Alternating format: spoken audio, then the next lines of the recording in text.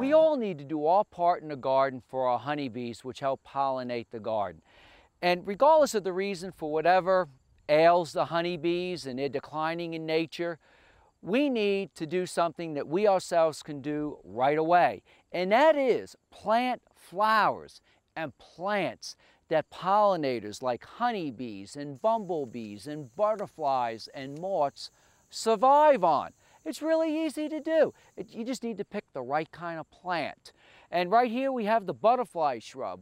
You know, I really try to focus, and in, in, in a few minutes I'll give you a couple ideas on plants that bloom long periods of time. But the butterfly shrub starts blooming in the spring and it blooms all the way till frost or freezes. And you know, we even have right in the foreground here the Nepeta, the blue flowered catmint, which really is a great plant to attract lots of bees.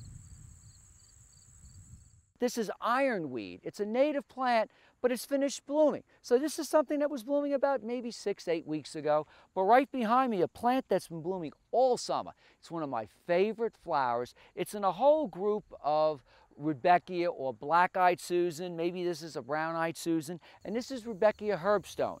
And the nice thing about this is during the summer and late summer, bumblebees, hummingbirds are attracted to it. But now later in the season, monarch butterflies love it. So it really provides a lot of usefulness in the garden.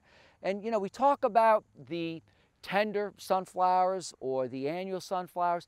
This is a perennial sunflower. It's known as Helianthus. And you'll see certain types of plants that look like this growing along roadsides, maybe even up along the Blue Ridge Parkway. And it's known as the sunflower. These all work to attract the pollinators to the garden. You know, another top five, top 10 plant would be sedum. A lot of the sedums offer great flowers in addition to foliage and the bees and the honeybees, everything loves it. Now this one's, you know, pretty much finished blooming, so it's perfect for drying, so you can use this plant for a variety of reasons, but a month ago it was filled with pollinators.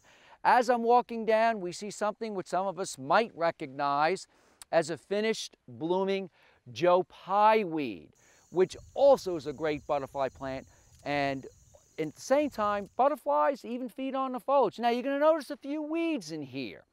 And that is because we use no chemicals. We use no chemicals so it doesn't affect the hummingbirds, the honeybees, or the butterflies.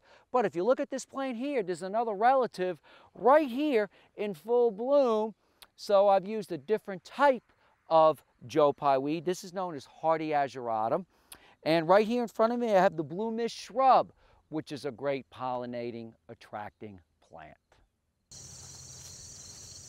One of my top favorite five plants for bumblebees and honeybees is the Russian sage or Perovskia. It starts blooming, you know, sometime in May, depending on where you live, maybe the latter part of May, and it blooms all the way through the fall into a frost or a heavy freeze. And if you look, you can just see the honeybees, and you can also see the bumblebees that cover this plant.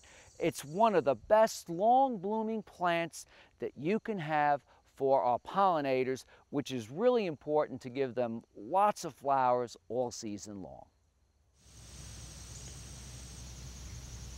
When you, you know, a little later in the season, you might consider something that's known as your New England aster.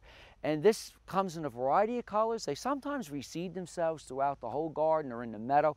But if you look closely at this, you can see that it's filled with uh, honeybees, um, bumblebees. I got bumblebees right here in the front. I got skipper butterflies all throughout. You'll even see the sulfur butterflies. So this is a great plant to attract wildlife and it's a plant that can withstand a lot of conditions, you know, maybe some dry conditions or moist conditions because it's a great meadow plant. A plant many of us think is a weed is goldenrod. This is a native flower. All a weed is, is a plant out of place. And the bees, and right here you can see, if I'm real careful here, you can see the wasp. The wasps love goldenrod, so do the honeybees. So go out and plant a weed in your garden like goldenrod for your pollinators. I'm Mark Viette. Join me next time in the garden. For more garden tips, go to the In the Garden website at inthegardenradio.com.